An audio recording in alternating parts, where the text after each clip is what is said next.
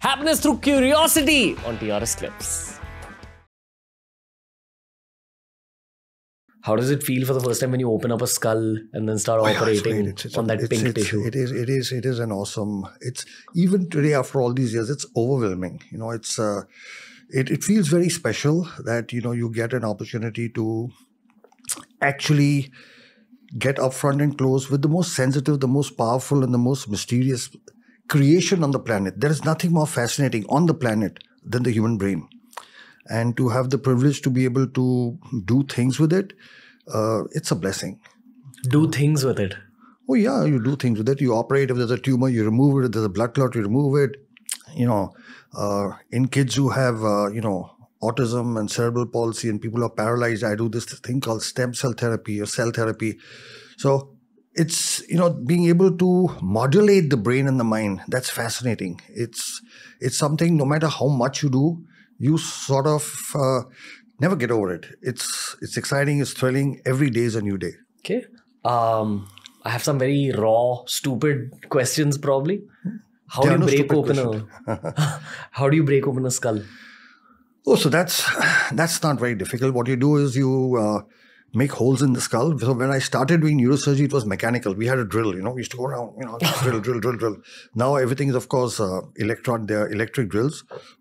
So you make holes. You know, make hole one, hole two, hole three, hole four, and then there's electric saw where you connect the holes, and the skull opens like a flap. Just flip it open. Wow. Like you're making a door in the skull. Yeah, exactly. I'm making a door in the skull. Yeah. Okay. So you choose a position. Uh, Oh, depending on where you want to go. You know, if it's a tumor you're doing, if the tumor's in the front of the brain on the right side, then you open the door above that, so on and so forth. So you have to open the door exactly where you want to work. what's the weirdest thing that's happened to you during a surgery? Weirdest. um, no, nothing weird. You can't. Uh, you can't have anything weird happening when you're dealing with the brain. Nothing weird can happen because everything is planned. You, you can't make any mistake. There's no scope for error there. You know, so everything is planned, structured, and you go according to a method. So nothing really weird can happen. But the weirdest thing I have ever done, okay, and that's on record. It's published. Is I've removed the largest amount of worms from the brain. And that's so big. You know, my hand, I don't know if you can, you know, this much. So it's published in a scientific paper. Worms, you know, worms, okay? The worms collected and formed cysts, and there was a person whose half the skull was full of worms. And you had to go in and take out this big, uh, uh, I'd love to share those pictures with you, Samir. You see it and you get blown. like this was in the brain, you know, and the guy's alive and doing well, you know. So I have on record the largest, the largest collection of worm cysts removed in the world you know, is done by me. What did that guy do to get those worms up there?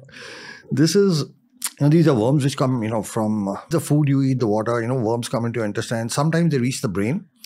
And when they reach the brain, they they form cysts and then you have to remove it. So this was like a really large collection. So that was the weirdest thing I've ever done because, you know, you can you imagine what it's like? You open the skull and you have literally, literally a palm full, one ha- palm full, this this collection of uh, worms which you take out.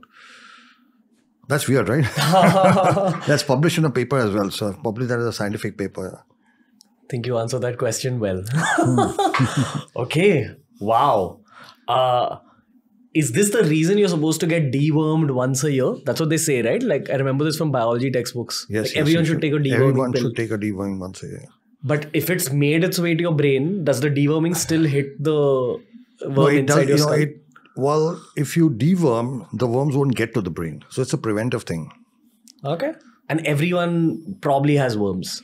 O- Obviously, if you, if you live in the city, all of us will have worms. Yeah, you know, Really? So it's just a healthy thing to get dewormed once a year. I would say. So.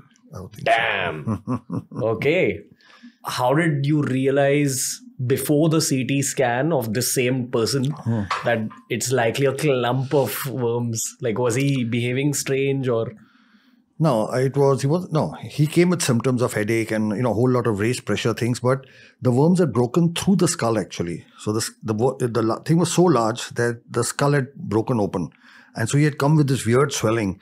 Uh, you know, so we suspected, but we didn't know till we did the scan. You suspected worms. Yeah, because it, it did fit. It, it, it's just the picture. It was weird, you know, and and there was a history in the past and all of that. So if you enjoyed this video, subscribe to TRS Clips for more.